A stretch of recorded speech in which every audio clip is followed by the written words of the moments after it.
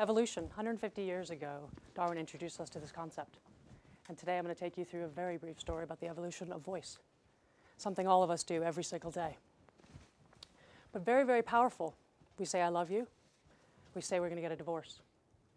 We say, I miss you. We say, I hate you. The spoken word is amazingly powerful. How can we restore the power of voice? It's been taken away from us. We've lost it over the last few years. How do we lose it over the last few years? Evolution has taught us that we can communicate from one person to another in a very powerful means, and that is through the spoken word. If we go back in time, you see a very pretty diagram here of our, our ancient ancestors. Many, many years ago, body language and voice was the only way to communicate. As we've gone through time, what's changed? What's changed in how we communicate and in our body language? And how has technology changed the way we can be and share our lives with other people? Language developed very, very quickly. Many, many different dialects. Globalization, we say today, threatens all of that. Question mark. I don't believe it does.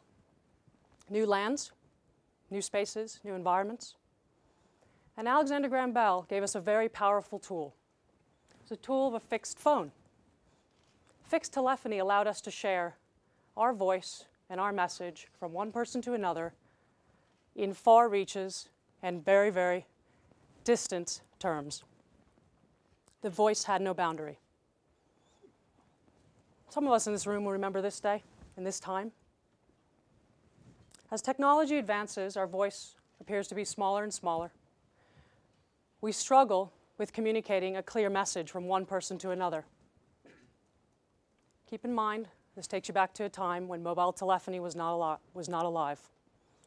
In 1987, we found the birth of voicemail. Voice could be captured. It was captured and it was stored on dumb boxes. Everyone in the room who hates voicemail?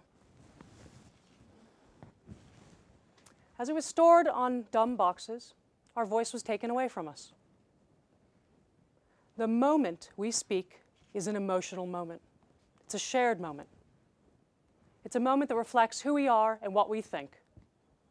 Storing it on a dumb box does not reflect that moment very well. In the 90s, the web, email, SMS even. We don't speak anymore. We don't talk to each other. We text each other. We email each other. What's happened to our emotions? What's happened to how we communicate?